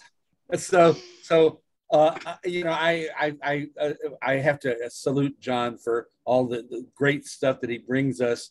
And holy buckets, you are really um, uh, uh put me in gear, Miss uh, Miss Gear. Uh, so. so uh uh one one of the things that I, I love the Minnesota accent, and uh, one of my uh, uh, Chippewa Indian friends who wrote a book called uh, the the sentence. Louise Erdrich is from Minneapolis. How close are you there? I'm just an hour south of Minneapolis. I live okay, uh, so, so a couple you, miles. Mm-hmm. So you you you need to talk to her because she wrote a, a thing about uh, a ghost coming back and and the sentence is the, the, number one book on the New York Review book and she went to Dartmouth on one of my uh, grandfather's scholarships there. Uh, wow. Uh, so, so uh, what, what was her Tucker, book called? Uh, it's called The Sentence, like the uh, sentence. But it's it's a uh, it's a, quadruple pun. she was sentenced to jail. She her she had the sense of COVID. Her husband had the sentence. all, all these things, and and she's been sentenced. Her her ghost in the book. the name of the bookstore is the Birchwood Bookstore in Minneapolis. Okay. And so so that's number one. Number two uh, uh, you you, uh, have uh, exposed me yet again to a wonderful thing where I um, uh, uh, in the '60s I went to Nepal and in India and I I was a big psychedelic user in the the '60s and '70s and and um, now I have been reconnected. I'm in, in, a nursing home, as Jon will tell you, um, uh, and uh, a lot of things make my ego go back and forth uh, on, on stuff there. But uh, what I what I really have gotten into is the fact that plant-based medicines um, uh, are, are, are, are, are, a way that are getting people to uh, uh, sure. to uh, be part of a um, this this sure. new revolution that's going on whether it's Humanity's Team, whether it's Mindvalley, whether it's um, any of these things.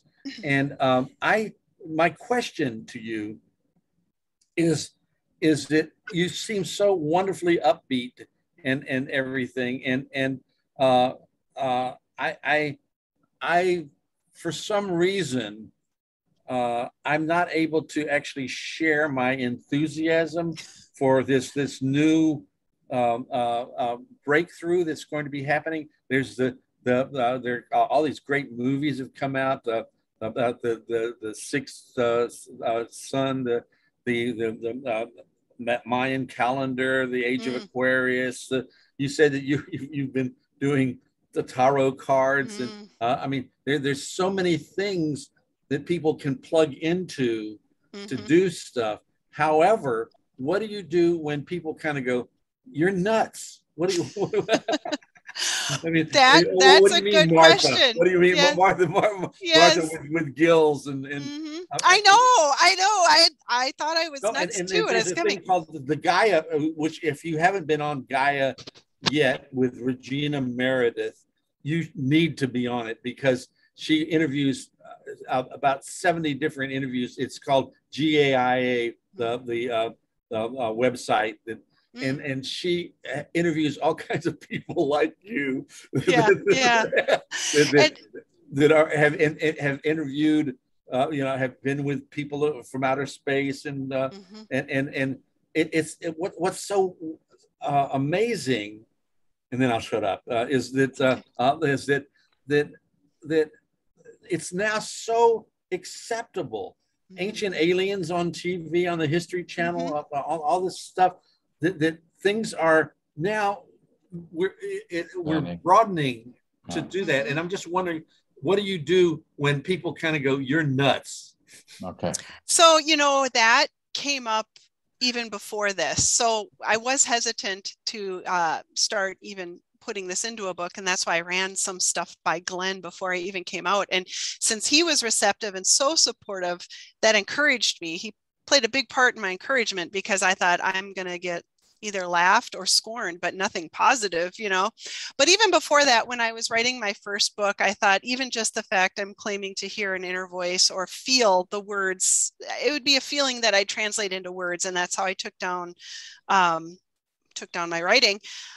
Every time I come across a, a, regressive comment on the internet because I'm on Facebook, I'm on YouTube, um, you hit all the people, you know, and every now and then there is a very negative comment and very debasing. And I'd ask the Holy Spirit, and it's always been the same answer. When I say, What do I do with this person, this comment? What do I do? Do I? And the Holy Spirit said, Remember, you're not there for them. You're here for the harvest. You're here for the fruit that's ripe and ready. Anything that's not ready, you overlook and let it hang. You just let it hang. So I let the comments hang. yeah, right. I'm not there for them. I'm here for you. That's I'm here for the receptive people, and the receptive people are here for me. I'm here to hear your stories and your things that encourages me. The the harvest is the people who are already ready and we've been waiting and and yes there's tons of stuff out there use your discernment use your inner discernment if someone says the earth is flat use your common sense. you know, there, if something sounds hokey and fishy and stupid, it probably is. so, you know, but if something rings in your heart, like, okay, wow. And even if that's not true, that sure is a really uplifting story that I feel good listening to. That's all you need. You don't need to believe it one way or the other. And I'm not here to convert believers or convince anyone of anything, but I am here to help build and elevate people's love. Right. And um, and that is that's it. And if no one, if you don't want that, then I just say, well, I'll let you hang. Let's go to Alice so, and see what Alice and then Dave. Um, go ahead, Alice. Um, yeah, I appreciated hearing your story. It reminded me a lot of things that I experienced 30 years ago um, during the harmonic convergence when I mm. suddenly opened up psychically in one day and had all five senses open up. I had encounters with ETs. I met a number of other people who had encounters with ETs. Uh, geez, I guess it's, it's 35 years ago now. Um, mm-hmm. and, and I thought a lot of there was going to come toward the millennium and all these things would start mm-hmm. to happen. And, and you know, I think this is all ancient stuff too. It's like uh, mm-hmm. all these things coming out. It's like there's a certain timing when people are ready to hear it. And, and I liked mm-hmm. what you said, you know, when when they're ready, you know, it's the whole thing when the student's ready, this teacher will appear. Mm-hmm. And this was before I was obviously being guided to, to the course and working with Jesus directly and hearing his messages and studying the course intently and do every day for a number of years mm-hmm. now and listen to that inner guidance. And I take a lot of notes. mm-hmm. and, and at some point, hopefully get my books done too that are all about my own inner guidance. So I appreciated, and I had encountered Ronnie Whitson. So I started researching this morning uh, how you got your book published. And I asked the question about Ronnie. So there seems to be an interesting connection there. She'd mm-hmm. helped me a number of years ago um, when I was starting to learn how to study the course more in depth with her searchable program. So Mm-hmm. Um, I'm just trying to connect some of the dots here. I appreciated some comments of other th- people. Uh, Marcia Cash said something about, um, you know, the whatever your path and who you encounter is part of your path of how to do that. So whether it's animals, because I've had experiences with shamanic uh, encounters, yeah. and and again ETs and other people that have had different ways that somehow they've opened up to our inter interconnectedness. So I appreciated everything that you've shared about your own experience. It, you know, it has an interesting story to it. And sometimes these stories are a way of teaching people. And I know mm-hmm. Jon knows about his own stories and how he shared some of those. Been very helpful. So I really appreciate hearing about your story today and, and hope to hear more about your own journey with all this. Um, anyway, Thanks, thank you for sharing all that. I appreciate it. And all the other ones that commented too, even uh, Tucker Clark, who just commented something. I appreciate everything that everybody's shared in the chats as well. Okay. Well, thank you, Alice. Let's see what Dave would like to share. Hi, hi, Beth. Hello, hi, Dave. Greetings from a native Minnesotan. Uh, nice to meet you. we lived in many farms around southeast Minnesota, not over in western Minnesota, but around Mankato, but uh, very familiar with the Minnesota way of life. And, mm-hmm. and thank you so much for the things you have talked about. And uh, my background professionally is in astronomy. Mm. And of course, many astronomers don't want to admit that there's extraterrestrials or they might be contacting us or mm-hmm. but I have no difficulty with that. A couple of things, let me see, I just wrote it down.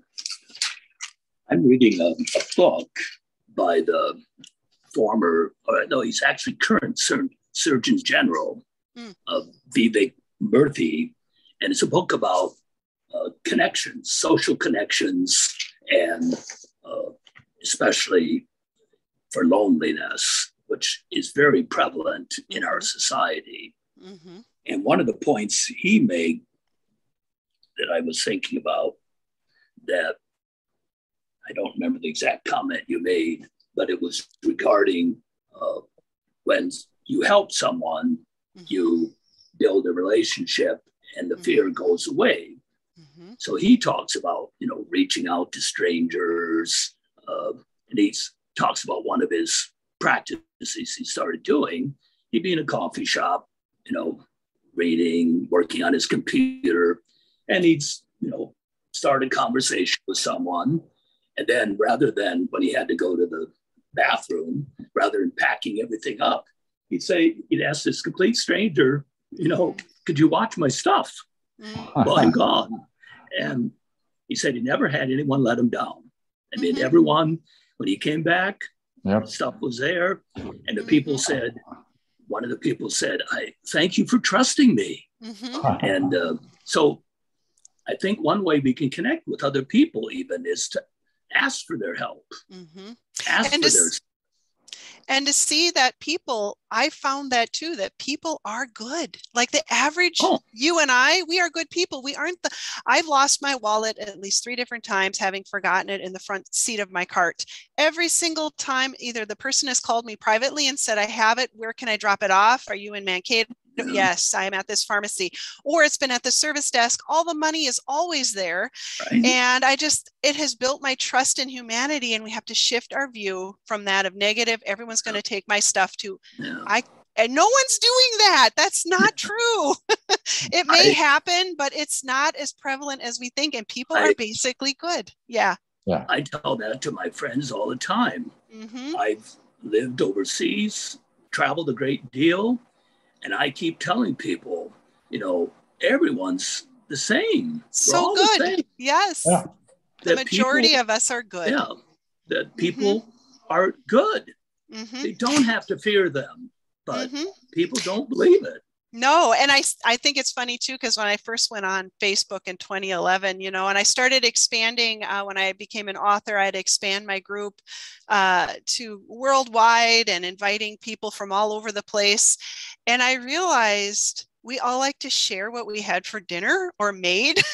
we right. all like to share our children and our lives. We all like to share when we go someplace new. We all like to share our little inner triumphs, like, oh my, or we'll share, I'm not feeling so great today. Right. Everybody shares the same stuff no matter where you live on the planet. it's well, like food, food and family and travel and, and general life experiences. There's, you know. yeah. I tell people just one final thought uh, as I tell people, because I've experienced it.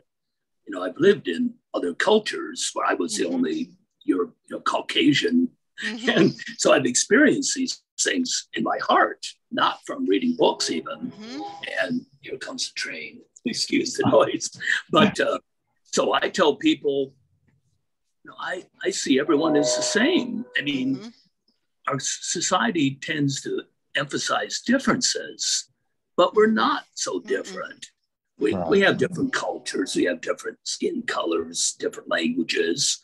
But and what makes us essential human beings? You know, we all laugh, we all cry, mm-hmm. we all want a better life for our children.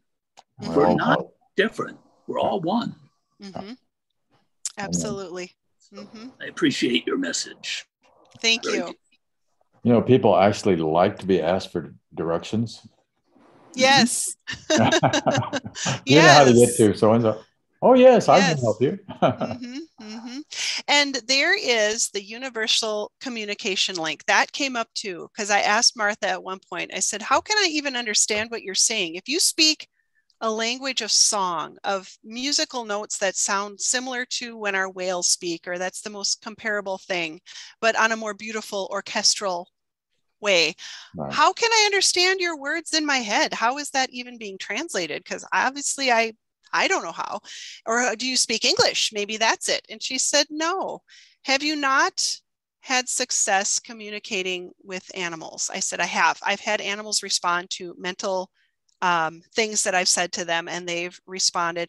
I have responded, had plants respond to me. I've had deep connections with nature and i go you're right. How how can i communicate with a plant or an animal or you? How does any of that work? And she said mm-hmm. the universal translator is the holy spirit. Everything alive shares god and every loving thought you have passes through the mind of god who translates the meaning for you. So Wow. you can communicate with anything, any being telepathically, any human. You can send them love. They don't even have to know you're sending it. And you'll find they're kinder to you the next day for some reason. They feel better towards you. They probably don't even know why. But there's an that universal translator the course talks about, the Holy Spirit. Utilize that, and it, it will always go through when it's sincere, positive communication in a loving way. Yes. So we're all joined by that, no matter where we are on the planet, or solar system, or galaxy, or universe. So, Yeah. mhm. Let's go. Let's go to Natalie. This will be our last question, and then uh, we'll come back and. Uh, it's it's not a question. It's just a commentary. I just Okay. want to say thank you. You brought me back to my youth. Even your background of your house there with your knotty pine and logs, very similar to the the place where uh, and the sharing of your uh, Our Lady of Medjugorje Oh, experience. yeah. Okay. mhm. Just needing to say that you know I am very Portuguese, and so I grew up with the Our Lady of Fatima and Yes. the children and the Yes. with- and the consciousness that you really just had to talk to to Jesus was too busy to listen so you really just Yes. you really just learned Yeah. to learn how to talk to his mother Yep. Mary's way Wow. less busy. She's way less busy. And she's a mom. She'll always listen to us kids. Yeah, I had that same always feeling. listen to us. That's my, my hilarious. father, my father was born in a part of Portugal um, that was very close to Fatima.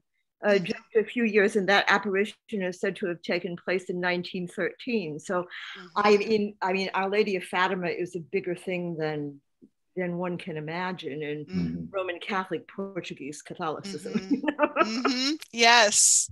Yeah. Beautiful. Yes. I still hold Natalie. Mother Mary in a special place that, um, yeah, absolutely.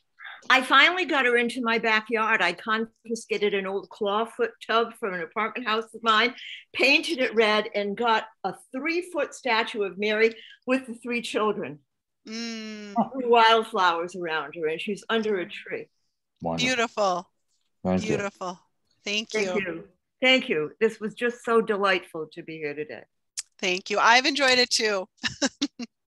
Let me make one kind of a little wrap up uh, thing and then go back to Beth. And then we'll, we always close with uh, reading of the Lord's Prayer from the Course in Miracles. Uh, somebody I noticed uh, in the notes, uh, although I wasn't really looking, but came on the screen, was talking about Aaron Abke, who was on with us. I guess it was just uh, last time back in uh, June. And he's also on kind of on the cutting front of all this. He's ex- into something called uh, the law of one which also talks about levels and degrees. I don't know whether you've over seen that or anything or not, but it doesn't matter. I've heard of it. Mhm. Yeah, it's we are. It's it's a very exciting. We are standing on this place where we can open our hearts more than ever before. I think, and have this incredible experience.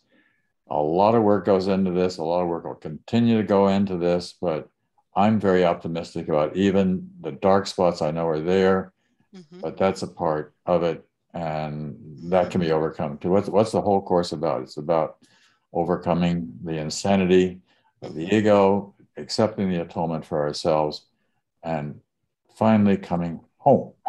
Yes.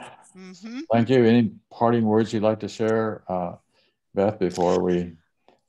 I just want to thank all of you, the aspects of my one mind, who joined me here today in love and light. And it's just been a pleasure to be able to share with you and um, meet you face to face via Zoom and to have this space available, which is a huge white flag or good flag that things are changing, that we have these opportunities to grow in light and love because I, if there's zooms out there on negativity i don't know where they are or what they are. I'm not a part of them but i'm glad there's positive zooms where people can gather without the cost of travel without having Yeah. to um, I, I didn't i'm sitting here in my shorts you know it's it's we're all comfortable and it works and it's easy and i'm just grateful because where two or more are gathered I think where 50 or more are gathered how much light and love we just blasted out into the our existence and to reflect back to us the goodness that we we have shared here today and that will be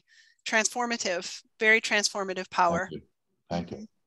We'll have you back on again uh, a few months down the road after the book after the book comes out, and it's Sounds had good. more exposure, so that'd be fun. Yeah. Is there anybody who would like to? Uh, let me go to my gallery view here to volunteer to uh, read the Lord's Prayer.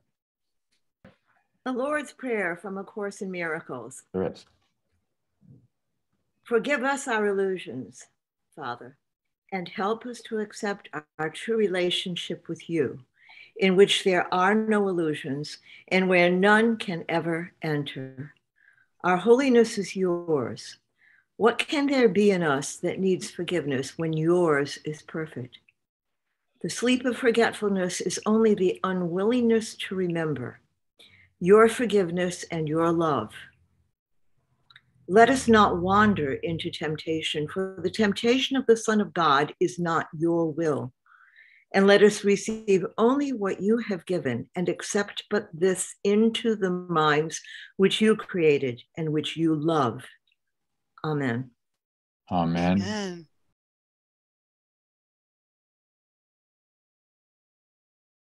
But you might want to explain to somebody what a hobby farm is. Okay. Okay. Yes. Our I would, technically in Minnesota, it's 40 acres or less, and we're right at 40 acres. And we knew if we went even an acre more or 0.1 acres more, it put us into a full-fledged farm, which is a whole other tax bracket right. and means a lot more taxes because they think you're making money on your land. No, Right. my, my horses don't make me any money, and the grass they eat that we grow does not either. So, Right. but yeah, I'll explain that. Sure, sure. Mhm. Right. Okay. Yeah. My wife, we went out to dinner last night. I was telling her a little bit about today, Mhm. um, and she said, "What's a hobby farm?" So It's something you just uh, you, you don't make any money on the hobby farm. no, it's just a hobby. it's just a hobby. You're just having fun, and if you happen to sell a few eggs from your chickens or something like that, you know, all all is well. But you don't have right. enough acres to make it a sustainable income. See, now a hobby farm in Napa, which is all vineyards, is Mm, actually um, very profitable. Oh, yeah. Okay. be, Yeah. Oh, yeah. Sure. right. You get the That's wine different going. situation. You're making full use of the land there. Mhm. Yes. She's got right. room for her horses and dogs and cats and And honeybees. We have honeybees here Yeah, honey- too. oh, so good. mhm. Oh, yay. More pollinators. Exactly. and you know we did we wanted to own the bees themselves and keep them on our property year round but we looked into it and talked to someone who did that or his dad did that it is a lot of work and um, we wanted the honey and the pollinators and we found this unique solution there's this company called Honnold's bees they will bring bee boxes to your property every spring and take them away every september october when the flowers wow. are gone and then around Christmas time, we get a nice box of uh, about four liters of honey, so a gallon of honey, six bottles of their honey barbecue sauce, two containers of honey butter, and that lasts us the whole year. And um, they got a place to put their bee boxes for free.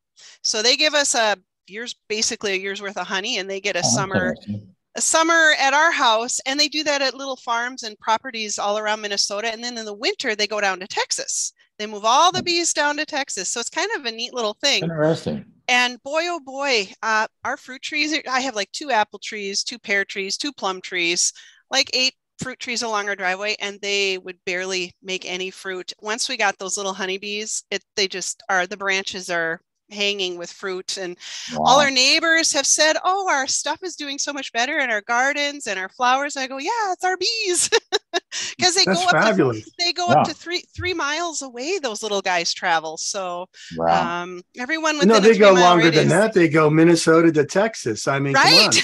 on a on a on a semi You have to be really tired and with lots of little breaks along the way. I know, you know. right? I know. Yeah. It's funny, but yeah, it's and and uh, you know, you just don't go near the boxes and you're fine, and they leave you alone pretty good. But there are a lot of them. But uh, we're used to them now flying around, and we know that uh, Can't imagine. They must have a sealed truck that is No. properly air conditioned. How do they move them? no, they it is literally the boxes stacked. I think we get about two, 100 to 120 boxes. We have like eight Wow. pallets um, because we have so many flowers for them. And they come out and check the bees every few weeks or so to see how the honey's going. And if it's bursting out of there, they add more bee boxes. So they know now what we can handle. Because I we have all hayfield and even our yard, our grass, even when it's this tall, it's clover, that white clover. So they have ample pollen. And um, so they give us a ton of boxes and they will come out with just a flatbed semi truck, stacks of the hives boxes, and they're just uh, not zip tied, um, tie down on there. And it's just huge. It's a semi trailer, open semi flatbed, the size of a semi truck in boxes. And then they go around and make their deliveries in the spring, and then they'll keep coming back and adding more as more flowers come into bloom. And then, uh, yeah, and so and, and, that's how they ship them is on a flatbed. Yep, just all the way down flatbed. to Texas. So they stay with the hive for the most part, because when they leave in the fall, for some reason, a big pile of them conglomerate on our mailbox. Anybody left behind besides our mailbox is their new hive. It's I think this is our fourth year. Every fall when they leave, the, the left behinds with who get left behind without their queen say, "Well, we're gonna get this apartment here." That's and it's our mailbox, and we have to like give it two or three days, our mail won't get delivered. The mailman's probably like, heck no, I'm not touching that. no kidding. It's just covered in bees. It takes about three days to figure out that everybody's gone and we're left behind and i'm kind of sad for them because i don't know what happens to i'm sure they just die because they don't have a queen out i don't think they can just make a queen out of nothing well, they I, don't, don't live long works. anyway no no so i no. and plus winter's just you know on its way around the corner. So the, a few get left behind but for the most part they stay with the hive and go with their queen and and uh, go down to texas on the flatbed. Just open air. They could fly away That's if they awesome. wanted i know. There's a clear implication in the course that there are no levels in heaven. Right. Okay. So, so spend a lot of time talking about levels. There is progression so even in this illusion, we progress. Obviously, a murderer has a lot to figure out. And then someone who knows that that's not the answer. So we're always progressing, and there are marked leaps where you achieve certain things. Like even here, once you reach a point where you really understand the Course in Miracles and you really are living it, there's a shift inside you to a sense of joy and mm-hmm. trust. Mm. Yeah, that's and so these are just sort of um because I said how because I at one point did ask Martha afterwards. I said, "How far does that go on?" And and she said, "Well, you're always growing closer to God, and there will be a point." And it was when she was describing me how time is a sphere, and she said, oh, yes with time being a sphere and everything happening in this ball that's time and outside of it is eternity there's a spiral upward and a spiral downward. And at some point you reach the pinnacle as you're spiraling upward as you go vertical um, that you know they she says she doesn't know how far because no one has come back to say. I don't know if you become one with the creator and then start all over again or how that all works but there are it's progressive. It's always progressive and so, there are marked points where things are sort of celebrated when you reach right. certain points. So progression implies time. It, it, it has to it, imply time. It I don't understand it myself, right? Because okay. you're not in time anymore when you leave the world of physicality, but there are transitional densities where you are less physical and you can move within and without and that's where like your your brain sort of starts to turn into a noodle like well how big is all this because i sort of car, car um, car, compartmentalized everything to be earth and not earth you know the universe and our planets and not the planets but there are densities within that. And and you go with like it's like going inward in rings and you get less and less physical. And at some point you lose your physicality but you're still growing you're still learning um, still growing closer to the creator which you at some point like how can you even believe you can possibly be any closer? But there are so many other levels of experience than our handful of emotions we have in our physical bodies. Our physical bodies really do limit our experience of feeling and seeing, and um, we're limited to basically, well, illusion. And, and our concept, is, yes, the body itself is part of space time. Yes. And to move out of space time, Martha said it's almost impossible to explain to you what that's like. Because I asked, what's in those other levels? What does that look like? She said, it'd be like trying to explain to a fish what the, the earth is like. You, you can't even, like, well, there's trees and you can kind of compare it to your seaweed, but it's not even that close. It is so different, and the work you do is not what you think of as work. And it's, it's, she's like, you just, it cannot be explained, but know that you keep always and ever going closer to God. Once you make that final choice, um, which she called my coronation day is when I will get to meet her, is when you make the final choice. I never need to be physical again. I've experienced every aspect of that. I need to to know that that's not the path that I can move out of hmm. that now. I've experienced opposite God enough. I, I I'm good. Got the idea, and now I'm ready to keep going on eternally and um, and then even in the course it says you reach back with your hand and help your brother like he's doing for us with the course we do that for others. So from time to time very um, prophetic people will come back like you know buddha and things like that to come back muhammad or whatever um, these great people come back to sort of help us. And in this case in our lifetime it was helen channeling the course and she herself may not have been you know she's just this little diminutive little woman and and didn't go abroad teaching like jesus or anything but she brought this magnificent message. And so she was one of those spirits who made an agreement i'm going to come back and, and do my thing. But i you know she had to forget like the rest of us and struggle with that. So um, yeah there there are levels but there aren't levels. I i don't know. I, it's confusing to me too